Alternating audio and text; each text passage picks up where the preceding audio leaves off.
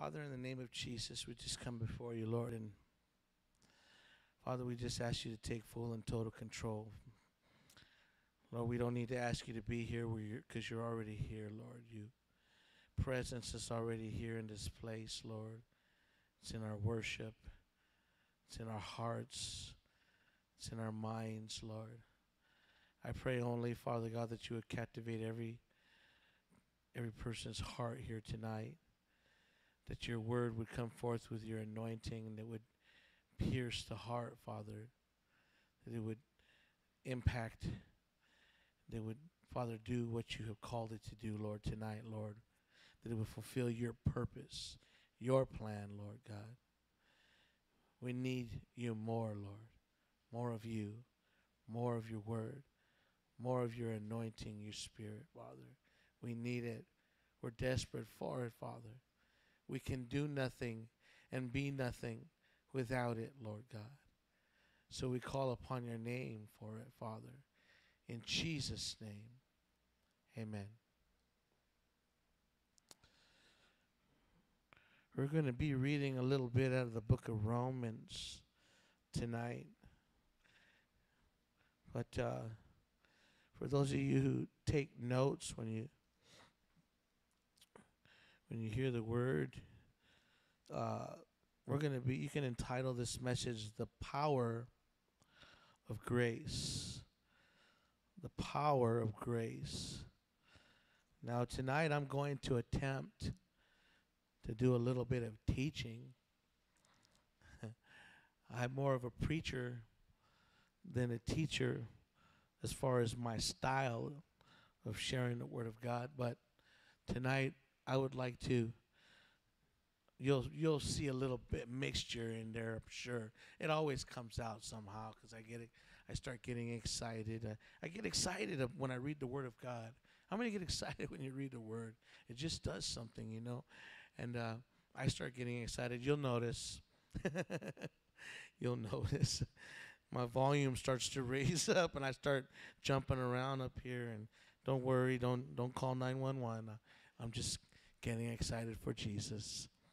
but we're going to look in the book of Romans. We're going to start in chapter 5. And we're going to talk a little bit about grace. You know what? I just want to give a praise report. Speaking of grace, um, you know, as I'm sharing the Word of God here tonight, my 16 year old daughter is sharing the Word in another room with the youth tonight. You know what I mean? So I'm just I'm excited, and you can clap for the Lord. That's a good thing to clap for, man. If anything, to get a 16 year old to be in their word and not wanting to be out partying with their friends or on Facebook right now and in the middle of a service, you know what I mean? That's the grace of God. and I'm just, I'm just overwhelmed with uh, gratefulness of God's grace over my life and my family's life. Amen. That she would choose because it's her choice, that she would choose God's word uh, amongst a vast, I mean, the enemy has it all right there on a big smorgasbord, you know, table for them, for the youth, through social media, through, I mean, music and TV and oh my goodness, it's just so vast. It's it's such a huge battle today to, as as parents, to be able to uh, try to compete with these things. You know what I mean? But but when when you have the power of God and the grace of God on your side, there really is no competition. There isn't. There isn't. Amen. Praise the Lord. So, my first point tonight we want to talk about, and what I want to try to teach about and share with you tonight is we're, talking about the power of grace. But first, I want to clarify what grace is not what grace is not. So we're going to read in the book of Romans, chapter 5. Uh, we're going to start with verse 18. Is everybody there already? Chapter 5, verse 18. And the Bible reads Consequently, just as a result of one uh, of one trespass, was condemnation for all men, so uh, so I'm sorry. So also the result of one act of righteousness was justification that brings life for all men. Amen. For just as though the disobedience of one man, the many were made sinners, also, so also through the obedience of one man, the many will be made righteous. Amen. The law was added so that the trespass might increase, but where sin increase is increased, grace increased all the more. I like that part. Where sin increased, grace increased all the more. So that just as sin reigned in death, so also grace might reign through righteousness to bring eternal life through Jesus Christ our Lord. Amen. And, and, and if you don't read that, I had to read that a couple times. It's a little bit difficult to understand, you know. And what he's saying right there, you know, one, one might misunderstand what that means. He, he, what he's saying there is that through one man, he's speaking about Adam, sin entered the world, okay? Sin entered the world, and through him, all were made sinners. The world was, uh, sin entered the world through one man. Amen? We were born into sin. And but then he's also saying, but also through one man, our Lord and Savior Jesus Christ, amen.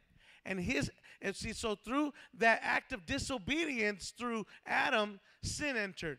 But through the act of obedience by our Lord and Savior, obedience to the Father to come and give his life for our sins, it says we were all made righteous through his one act of obedience. Amen? Do, do you guys, so far, you got me where I'm at? Okay? And so it says, where uh, uh, uh because of that act, amen, it says that uh, uh, the law was given to us, amen. Let's read that real quick here. So, for through the disobedience of the one man, the many were made sinners, so that through the obedience of the uh, of the one man, the many will be made righteous.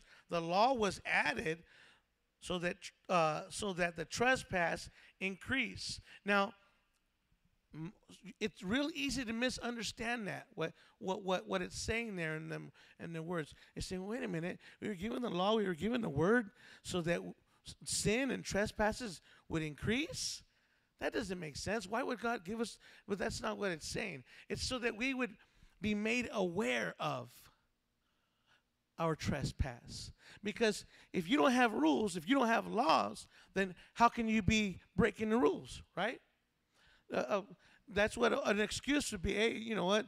Uh, a, a, a cop might pull you over and say, hey, you were doing such and such.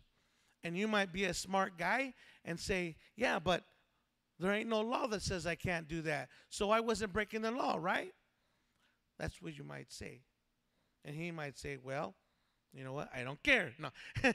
but and that's why we were brought the law. We were brought the word of God, that we would not uh, we would not yet know we were in sin or in trespasses unless the law was brought.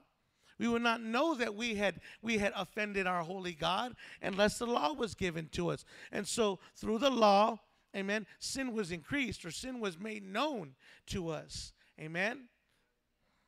Amen. So it's important that we understand that the uh, that the law wasn't wasn't given us, you know, and and that was it, the law. It was so we might be made aware of our sin. We might be made aware of of our condition before a holy God.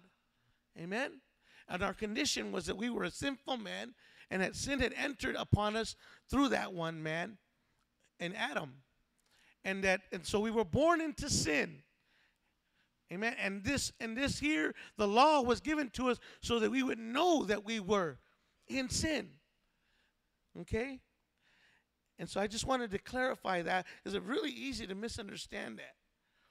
But not only that, it says, but but Jesus Christ was through his obedience, we were given grace. Through his obedience and his sacrifice, amen, our sins are forgiven. We're made righteous. Amen. We're made righteous through the death, burial, and resurrection of Christ and our acceptance of that sacrifice to be cleansed and to be forgiven. So we acknowledge that we're a people of sin, right? And that we're in need, amen, to be made righteous because of that sin. We, we, we are enemies of righteousness until then. We are people of sin until then.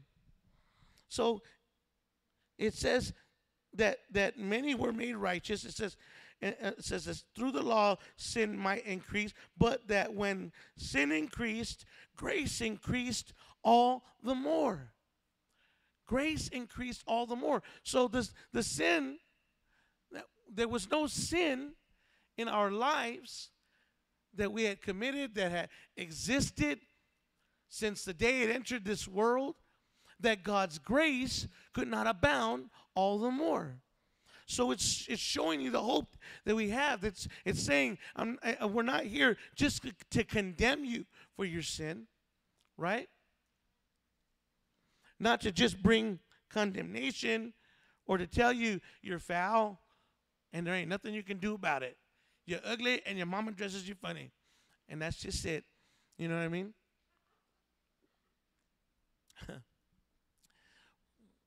but he was saying there's hope.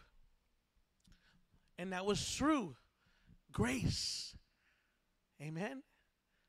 And that he was explaining to you and me that grace, God's grace, abound far greater than any sin in this world. That there's no history that we, that you or I have, no past that we have involved ourselves in, that we have been a part of, that grace did not abound much greater than. Amen? So the, the law, so we got those points. The law was to reveal sin, but never to overgrow or overpower grace. Amen? So let's read in chapter 6, and we're going to start with verse 1. Or no, yeah, we're going to read verse 1 and 2 first. It says, What shall we say then? Shall we go on sinning so that grace may increase? By no means. Amen. He says, By no means. Certainly not, he says in the King James. He says, We died to sin. How can we live in it any longer? Amen. And so this is the point that I'm. Uh, this is the reason why I'm bringing this part up. Is because I'm. I was trying to share with you. First, I had to uh, kind of explain the, the difference, amen, of, of grace and the law, amen. And now we're sharing what sin is, what grace is not, amen. Grace is not a green light for us to continue sinning. Grace is not an open door for us to continue living, amen, the life that we led before, to continue in our old ways or in our own habits, amen. In Second Corinthians, uh, what is it, 5.17, says, if any man be in Christ, he is a new creation. It says, The old is passed away, and uh, behold, all has become new. Amen. A new creation passed away, the old. Amen. So, uh, so what should we say then? Amen. Shall, shall, we, shall we go on sinning so that grace may increase? And he says, by no means, certainly not. Grace is not that open door for that. That's not what grace is. Amen. Grace is not our loophole to, for compromise with sin. Let me say that again. Grace is not our loophole for compromise with sin. You know what? The church today needs to hear that. That's a very important message because I, I struggle with my flesh. Who struggles with their flesh? Hey, if we're going to be real, every day, every day I'm in the world. We live in the world. We're not of the world, but we live in the world. We got to go to work. We got to go to the grocery store. We got to go to the quick trip to get our little thirst busters and our candy. You know what I'm saying? We got to go to the schools. To, our kids got to live in the schools, go to school, amen, amongst it. We, we go through our life, amen. I know I'm not supposed to be drinking soda. I don't know what he's laughing about, but anyways, you know, we, we're, we're in this world. Amen. It's it, let's be real. We live in this world, and this world is wicked and perverse, and we're around it. If you ever work on a construction site, whoo, man, the, the conversations that have, that take place, even in the office, at the water cooler, huh? How many have been around the water cooler at work? Some of that little mentiche conversation takes place. You know what I'm saying? About so and so, and you know what I mean? We live in this world. And it's so easy. It's so easy to get caught up. When we're watching TV and we're flipping through channels and the advertisements come on. And some sexy thing in a little tiny bikini comes on there. And it's not even about that. It's about, uh, I don't know, about hardware or, you know, who knows? But it has nothing to do with that. but they're using sex to sell items on TV. You know what I mean? Even the censorship is gone. I mean, I mean, back in the day, they would censor everything. You would never see or hear. You know, uh, I mean, some of the flesh that they show, they show almost everything now. Before, forget about it. You know, the covers were up to here, even on the bedroom scenes, right? They didn't show that stuff. It was a quick, and it was on to the next scene. But nowadays, everything right? And it's so easy to get those images. You're walking down the street and there's some images walking around you.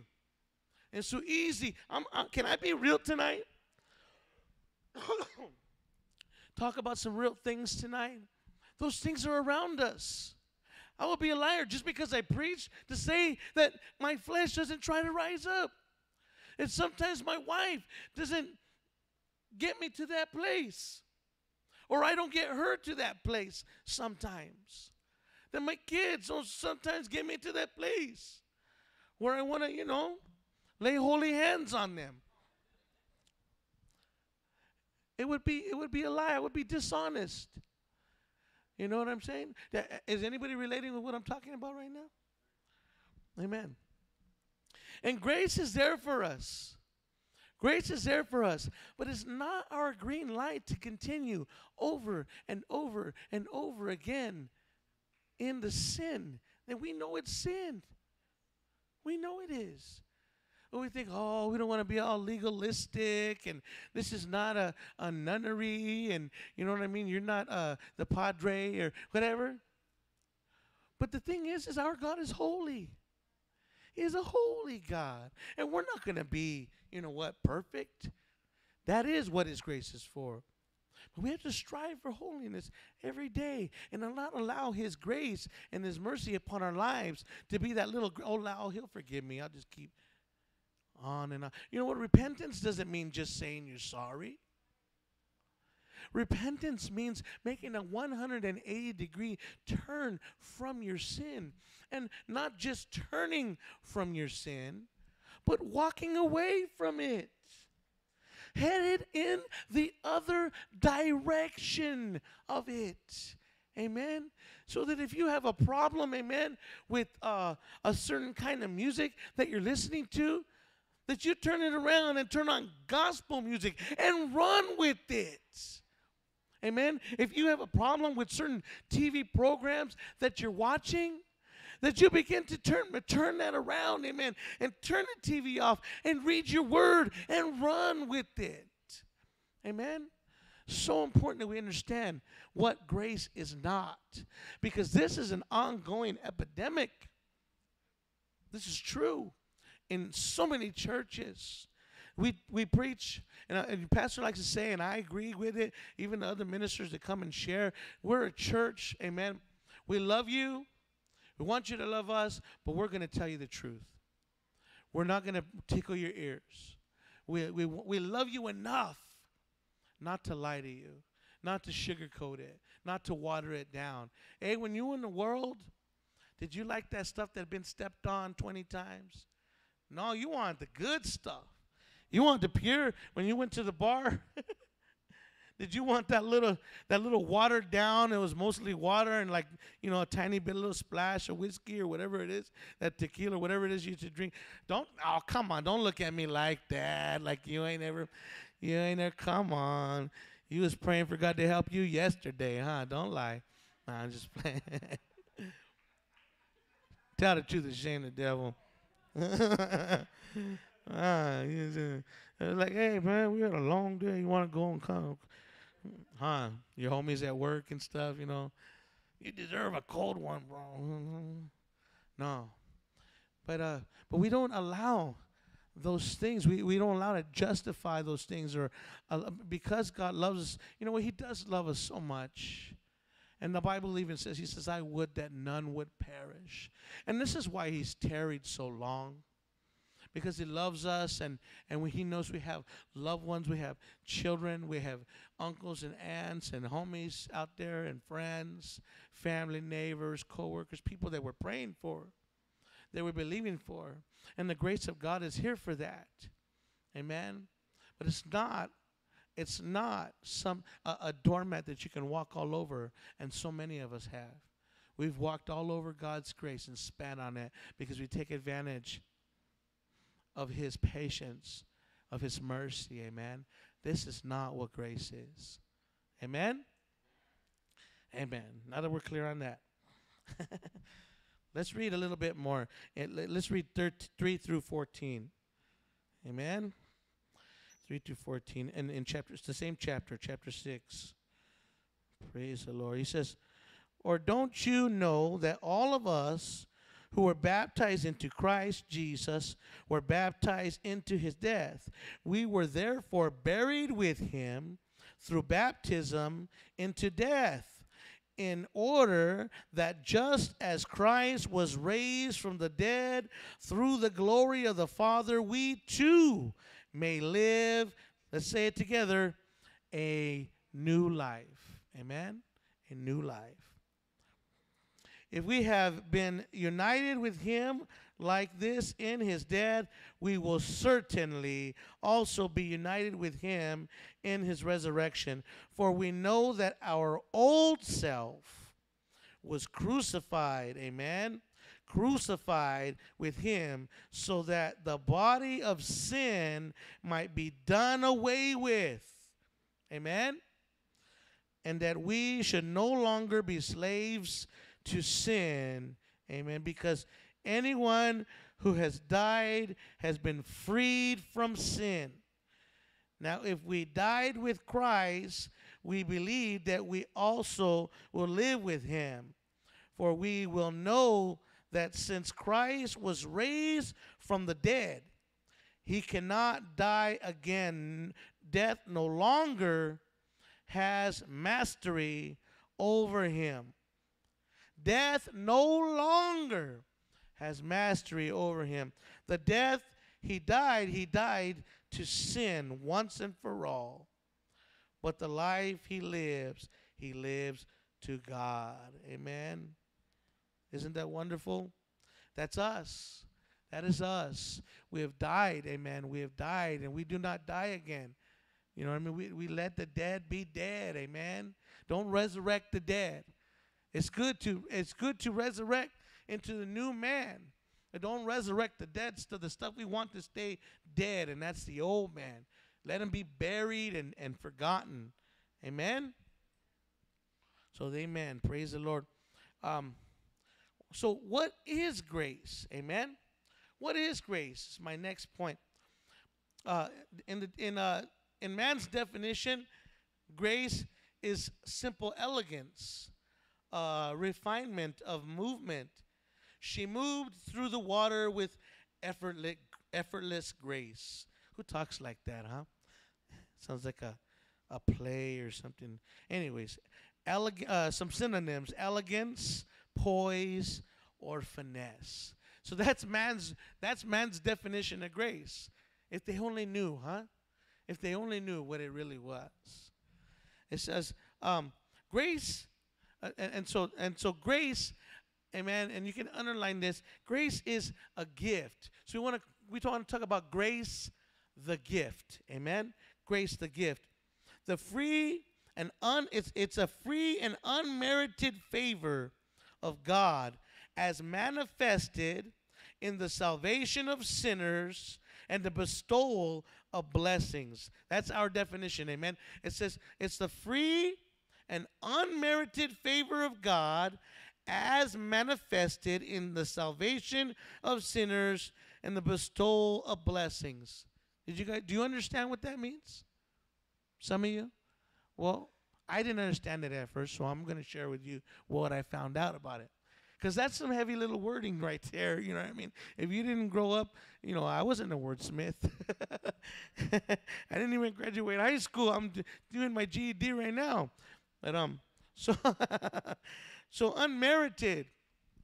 Unmerited is means uh, let's, let's go to merited first. That's the root word of unmerited. Merited means it's earned. You know, like if you're in Cub Scouts or Royal Rangers or something like that, they, they would call them merit badges. Those badges, you would earn a badge, whether it be for uh, uh, building a, a, campfire or or learning or learning uh, uh, uh CPR or something like that, and you would earn a badge, and it was a merit badge. You merited that, you earned it. Amen. And and so he's saying that this is unmerited grace. In other words, this is, uh, uh, I mean, unmerited favor was what, what I had. And so, so that, that means that you, you didn't earn it. As a matter of fact, you couldn't earn it if you tried.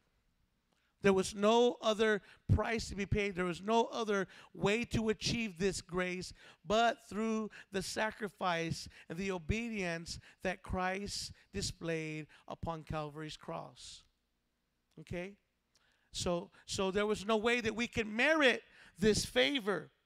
There was no way that we could merit, amen, this this uh, favor that was given of God. And, and it says it was as manifested. Manifest means that as it rolls out uh, uh, before you, um, how, uh, when it becomes visible.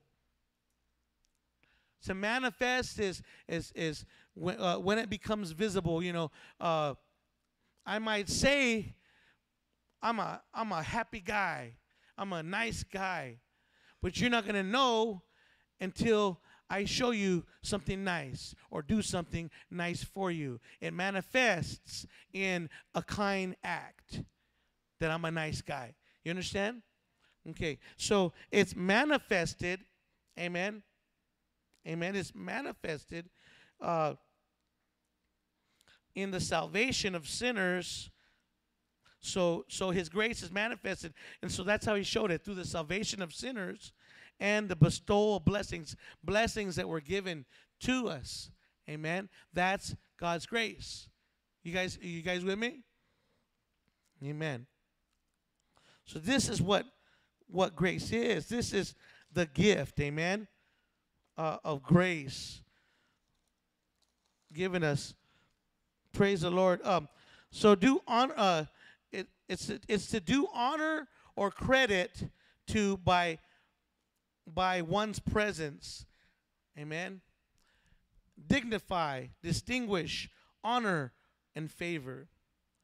Romans 5:15 says, "But the gift is not likely uh, let's see, but the gift is not likely to trespass for if many died by the trespass of the one many amen how much more did God's grace and the gift that came by grace of uh, of the one man Jesus Christ overflow to the many? So it's he's calling it a gift amen. It's a gift given to us amen to the many. A gift is not something earned amen. A gift is something received and given And so that's uh, uh, kind of a little backup scripture, part of the scripture we already been reading. Examples, amen. Examples of God's grace. Uh, let's look at John 8, verse 3. John chapter 8. Verse 3. I'm just going to read it. Okay. The, the teacher of the law and the Pharisees brought a woman caught in adultery. They made her stand before the group and they said to Jesus, Teacher, this woman was caught in the act of adultery. In, in the uh, law, Moses commands us to stone such a woman. Now, what do you say? And they were using this question to trap, uh, uh, as a trap, in order to have a basis of accusing him. But Jesus bent down and started to write in the ground with his finger. And when they kept on questioning him, he straightened up and said to them, If anyone of you is without sin, let him be the first to throw a stone at her. Again, he stopped down and wrote in the ground, and at, uh, at, at this, those who heard uh, began to go away one at a time, the older ones first, until only Jesus, hallelujah, only Jesus was left with the woman still standing there. Jesus straightened up and asked her, Woman, where are they? Has no one condemned you? No one, sir, she said then neither do I condemn you. Jesus declared, Go now and leave your life of sin. Amen. And this is a perfect example of that gift, grace as a, as a gift. Amen. It said, it said, uh, did she did she deserve what they were bringing to her? The law said it was the law. It wasn't that she didn't deserve to be stoned. She was caught. You know what I mean? They, they, they caught her in the act, they said. So you know what? They had Marvin Gaye. She had Marvin Gaye playing, candles lit, and it was happening, Jack. And they caught her. Hubby came home early to surprise. He said, he smelled it in the air. The candles. he said, she don't light no candles for me. she was caught. So did she deserve it? Yes, she did. That was the law. Amen. But what happened? She received a gift of grace. Amen. There was no one there that was not that was, that was not with sin. There was no one there that was not worthy of the same condemnation that they offered up for her. Because the Bible says that sin is sin, right? Sin is sin. It does not dif- differentiate between what kind of sin, which is worse. It says sin is sin. And it also says that the wages of sin is death. So all of them were worthy and deserved the same judgment.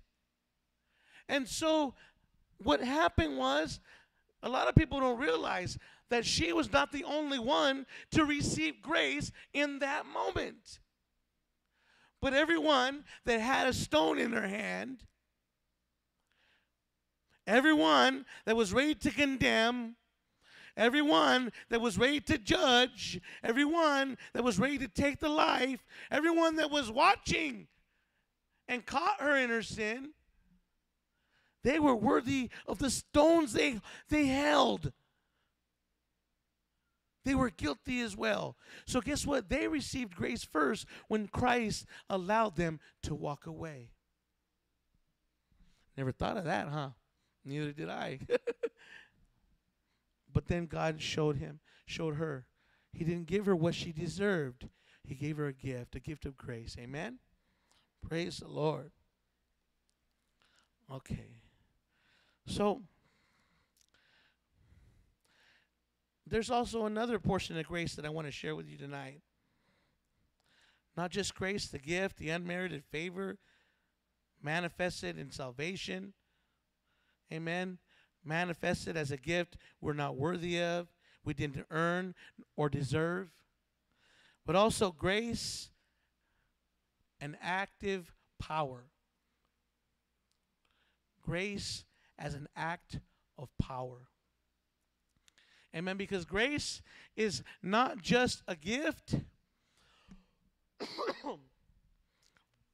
grace is not just God taking pity on you or having mercy on you. It is grace, amen, that empowers you as well. Amen. Let's look at Acts chapter 4, verse 13, and we're going to start wrapping it up. Acts chapter 4, verse 13. Some of you are familiar with the scripture. You ready? We're going to read 13 and 14. Chapter 4. It says, When they saw the courage of Peter and John and realized that they were unschooled, hello, unschooled, ordinary men. They were astonished and they took note that these men had been with Jesus. Amen. Grace had empowered these uneducated men to speak the word with power and for lives to be changed. Amen. Grace was an action in this moment. Look at Second Timothy real quick. Second Timothy chapter 1. I'm trying to give you a little bit of carne tonight, a little meat, a little, just a little bit, to get them teeth poking through and get you get them chewing muscles moving, so you can get a taste and say, mmm, mmm, mmm. The word is good. Amen. Are you there? Do you guys got that scripture? Uh, go ahead and put it up. Second Timothy chapter 1. Let's start with, we're going to re- read verse 8 and 9. It says, So do not be ashamed to testify about our Lord, or ashamed of me, his prisoner, but join with me in suffering for the gospel by the power of God who has saved us and called us to a holy life, not because of anything we have done. Let's say that. Not because of anything we have done, but because of his own purpose and what? Grace. Amen. Not because of anything we have done. Amen. Examples. You know, it, it's it's God's grace amen, that allows you to speak His word with power. Do you think it's because you're such a talented fellow? Amen. That all the, that all of a sudden people is going to just drop everything in their lives and listen to you. You got another thing coming. Amen. Grace took place when the sea parted for Moses the children of Israel and the children of Israel. That was the power of God's grace. Amen. When, when, when David killed Goliath with one stone, that was the power of grace. When Gideon, with only a hundred men, defeated the vast army of the enemy, that was the power of grace. When Peter walked out of the dungeons and prisons, led by an angel through the guards and to his people. That was the power of grace. When he stepped out on water during the storm, when God said, Peace, be still, that was the power of grace upon your lives. It was not merited. You did not deserve it, but He gave it to you anyways. Huh? Grace is not just a gift.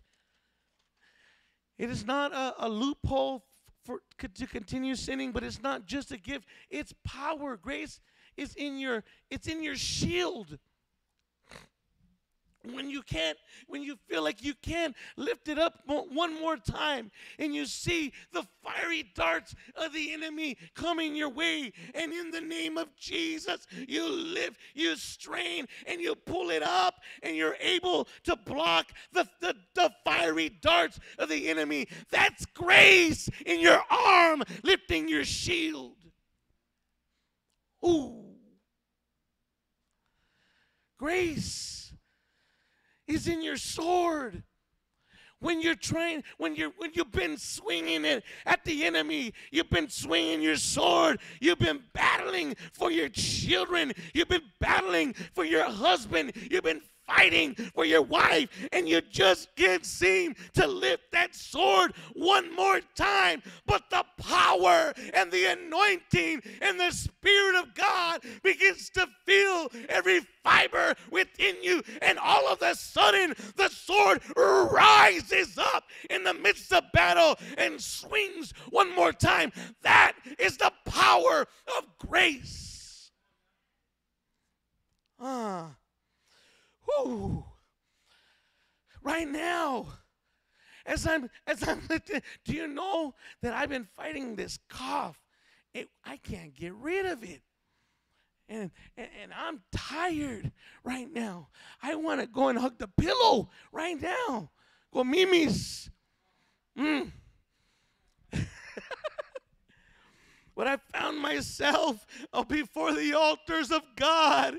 And I said, Lord, let me just preach one more. Lord, let me reach one more. Lord, let me let me just use me one more time. Lord, lift my heart, lift my body. Lord, ex- express, display, manifest the power of grace tonight.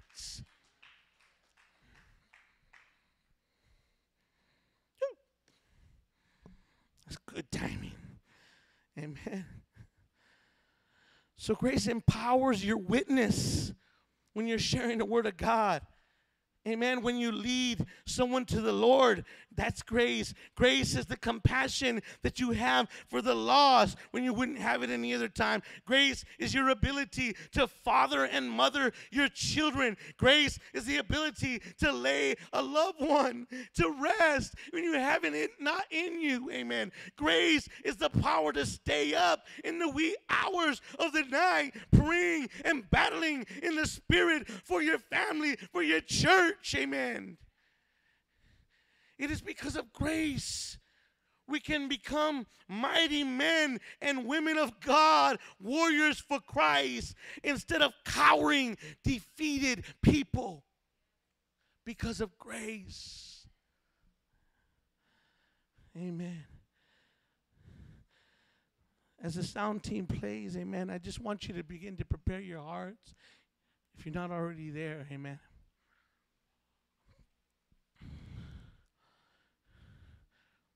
I know this is not something you do not know or have not already heard about grace. It is a it is a simple message.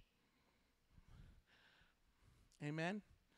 But it's an essential message for Christians. Because so many times we take advantage and we use grace for what it was not uh, intended and and or sometimes we receive the, the gift of grace and we don't realize that it's not just a gift but it is a tool it is a weapon it is empowerment to do what god has called us to do to be who god has called us to be. Amen? That husband that wife that parent that brother. And so many times uh, let me just share this real quick as as we get ready. If you want to stand, you can already stand. So many times, you know, many of us, we're seasoned Christians. We've been serving the Lord for a good time, amount of time. And we'll serve the Lord, but we'll, we'll struggle. You know, because when we begin to give our hearts completely to the Lord and surrender 100% to the Lord, how many know that we become a target? We become a target the enemy doesn't want to mess with the people that are just sitting back not doing anything, but he loves to mess with him some leaders. He loves to mess with some potential uh, uh, men and women on fire for God, some potential pastors, some potential evangelists or children's uh, teachers. Oh, he loves he he loves to just get in the way and stop it from happening and say, "Yeah, what if they would have caught it?" And so many of us, we come before God and we're serving them faithfully, but we struggle because we're being hit by Him and we think, how could I ever see? And the enemy even sits there and points his finger, and you want to be a preacher. And you, how could you, how could you tell, how could you even witness with what you're dealing with? That's where grace becomes power. Power to speak to the enemy and say, No, this is what God's grace is for. To be able to overcome this and you. Grace to tell you that you're defeated enemy. You're a defeated foe. You haven't a leg to stand on. My Christ says that I'm more than a conqueror then greater that greater is he that is in me than he that is in the world. That means i'm greater than you and everything that's in this world that comes against me. The power of grace is on your side. And if you feel less than enough that's okay. We are less than enough. That's where his grace comes in where your power where your strength runs out. God's grace takes over, empowers us to do and be who He's called us to be. Amen. We're all in need of God's grace. Amen. But if that's if that's how you've been feeling too lately, you know, I want when we uh, when I uh, uh, open up the altars, I want you to come and seek Him. His grace is right here, in these altars for you. For those of you who had not received God's grace as a gift, I'm talking about salvation or accepted Christ in your heart, that's here for you tonight too. Amen. Is there anyone that would receive Christ tonight in their heart? Receive that grace? Is there anyone tonight that would make that decision? That want to? Amen. That means we're all we all got it. We're all here. Amen. We're all saved. And it's only about finding grace for the next situation, using His grace as a weapon tonight. Amen. Amen. If you want if you want prayer tonight, the, the altar's open, and I'll pray for you, or you can just pray on your own. It's up to you. But I'm gonna, I'm gonna just open the altars up for, for prayer right now. Amen.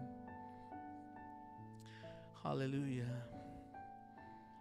We're not perfect. None of us are.